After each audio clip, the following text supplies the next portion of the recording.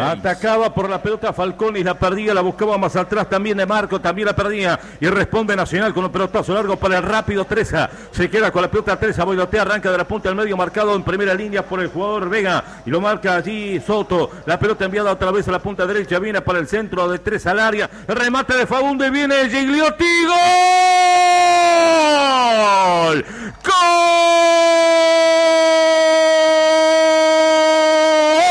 Nacional Gigliotti. El número 9 entró por la mitad del área. Cuando apareció por la derecha 3, el pase vino profundo, la perdía, pero después la volvió a recuperar. El centro rasante y una pasividad enorme de la defensa del equipo de Cerrito que quedó parado, todo el mundo miraba Gigliotti remató de primera con pasmosa tranquilidad porque nadie lo fue a marcar el 9, remató rasante y bajo también hubo un quede del guardameta Larrea que únicamente miró, acompañó con la mirada, la pelota se metió abajo contra un palo, tempranero gol del equipo tricolor después de una buena maniobra de Treza por la derecha, el centro enviado por el futbolista 13 y aprovecha el goleador, el delantero Gigliotti remató contra un palo y decreta el 1 0, gana Nacional.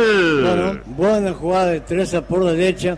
Hay que ver cómo lo dejaron. Había, hay tres o cuatro jugadores de, de y lo dejaron rematar a, a, a, Gigliotti que contra el poste hizo muy bien, lindo gol, pero eh, defecto de la defensa de Cerrito.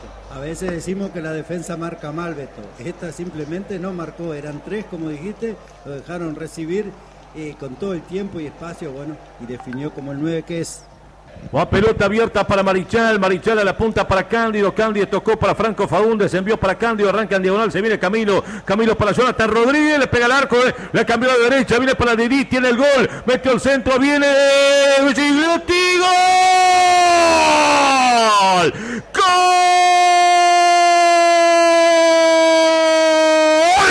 Nacional Gigliotti de nuevo, entró el número 9, bueno, buscan a Suárez, todo el mundo habla de Suárez, hablan del 9 y el actual 9 de Nacional aparece con un doblete, el primero de Gigliotti, el segundo de Gigliotti, una jugada que la trabajó por izquierda Nacional, la cambiaron de izquierda a derecha, apareció Lely Bala, consciente, abrió los ojos, levantó la cabeza, lo vio el 9 que se movía al vacío, le metió un pase de gol. Y Gigliotti, el argentino que anota doblete, gana Nacional por 2 a 0.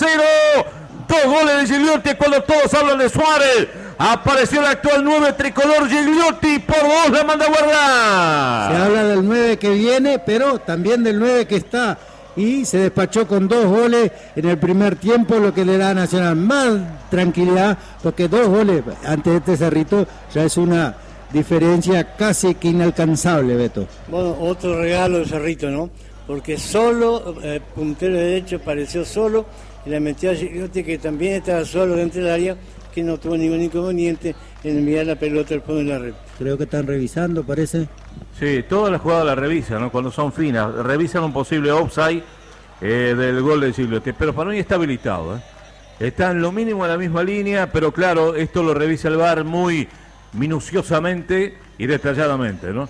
En cada jugada acá hay posible offside que no lo muestra la televisión, chequeo del gol, pero lo que están viendo es justamente si estaba adelantado o no Gigliotti, ¿no? Para mí está a, habilitado y ahí está.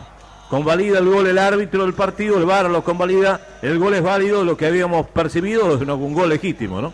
Y aparte no demoró mucho, esto es lo que se espera del VAR, que no demore mucho porque si no el partido se enfría. Rodríguez metió el pelotazo, marcaba Villoldo, la pelota queda Lozano Nacional, va por la goleada, la pelota abierta, toca en profundo, marca, viene sacando Velázquez, después Villoldo, la pelota viene quedando para que toque Zamorano, de León que venía derivando para Falcones, hay foul, le queda de Marco, deja seguir el árbitro, la cambiaron a la punta derecha, carga por ese sector, quedándose con pelota dominada Vega, controló Vega, tocó hacia atrás, al centro de Escarones contra el área, que bien la bajó notable Felipe Carballo, ¿eh? una calidad de esto técnica, vino una pelota ahí al área sucia, eh, pelota sucia porque estaba comprometido la de defensa del equipo tricolor. Atención, viene para Zavala. Va a tirar Zavala, rebotó, estaba la media luna. Le quedó Zavala. Zavala que la viene cambiando de derecha, está cerca el tercero tricolor. Atención, la pelota deriva para que domina Rodríguez. Jonathan que la viene jugando corte y baja pelota para Faunde. Faunde que toca balón hacia atrás. Va pelota enviada para Lozano. Lozano que la tiene tocando para Felipe Carvalho. La tiene Nacional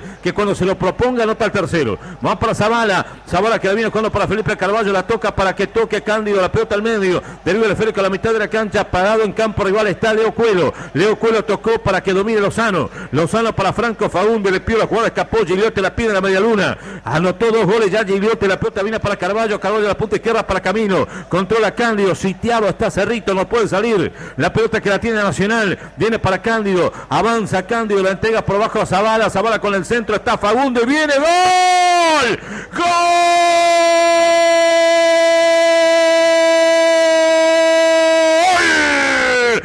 Nacional Franco Fagunde, le dije, se lo propone Nacional a ritmo de entrenamiento y anota el tercero, una pelota que la trabajó por izquierda, tocaron todos prácticamente, tuya y mía, la fue trabajando Nacional, vino la pelota a la punta izquierda, el centro de Zavala, solo, entró por el medio del área, Franco Fagunde la tocó de primero, la cachetada de por interno, de pie derecho, para dejar decretado el tercer tanto, y gana Nacional 3 a 0 y ya es goleada y habrán más goles en el Gran Parque Central. Muy buena jugada de ataque de Nacional, intercambiando pases de los delanteros, derivó hacia Fagundes, ¿no? El 32, que remató y convierte el tercer gol. Bueno, Nacional prácticamente ya eh, con 3 a 0 y para más cuando reciban 35 minutos. Cuando el equipo tiene menos poderío eh, se demuestra de esta forma, ¿no? Ganándole abiertamente como lo está haciendo Nacional, que no se conformó ni con el 1 ni con el 2, fue en busca del tercero, llegó, bueno, el otro 9 que juega también eh, de doble 9 allí, convirtió noche de 9 en el Parque Central. Va a corner que lo va a tomar Zavala, busca Felipe Carballo, busca también Marichal, viene el centro, la buscaba Marichal, marcó Velázquez para sacar y la pelota viene quedando todavía Nacional. La tiene Faunde, Faunde la levanta, Marichal quedaba en el área, sacaron, la quedó Carballo, tiró. ¡Gol! ¡Gol! ¡Golazo Nacional! Felipe Carballo la colgó en el ángulo, impresionante remate. Colgalo, Carballo, colgalo. Golazo impresionante. La pelota venía en caída, le pegó de emboquillada y la clavó en un ángulo. Quedó parado. El guardameta Larrea se levanta acompañando la pelota con la mirada que se incrustó violentamente del ángulo superior derecho. Golazo de Felipe Carballo, nota el cuarto nacional, 44 minutos de Zurra Carballo, repito, la metió contra el tornillo y Nacional gana 4-0. Dijiste que el segundo tiempo iba a ser un calvario porque si Nacional no se proponía hacer más goles, bueno, tendríamos que subir, pero lo bueno es esto, Nacional creo que no está conforme ni con tres ni con cuatro, creo que va a seguir sumando, va a aprovechar esa facilidad que le da Cerrito para seguir premiando a la hinchada que se animó a ir en una noche eh, y día laborable, un jueves, bueno, el premio está ahí, cuatro goles y este fue un golazo. Bueno, porque en el primer tiempo ya había liquidado la historia. Hay tiro libre que lo viene tomando Campo, metió el centro al área, la bajó con el pecho al medio, viene gol. ¡Gol! de Nacional Almeida. Almeida, cuatro minutos y medio pasado la hora. Almeida la bajó con el pecho al centro, enviado por Brian Ocampo y Almeida anota el quinto gol que llegó ya los descuentos. Después bajado la pelota con el pecho, define solo, entrando por la mitad del área ante la pasividad de la defensa del equipo Cerrito y termina decretando el quinto tanto. La Lotería Nacional, innecesario haber dejado jugar los minutos que dejó el árbitro, podía haberlo terminado antes, sería mucho más decoroso para Cerrito, que hizo un gran esfuerzo, pero llegó el quinto gol, ya cuatro minutos pasada la hora, y gana Nacional por 5 a 0 el quinto, anotó el que Almeida para el equipo tricolor.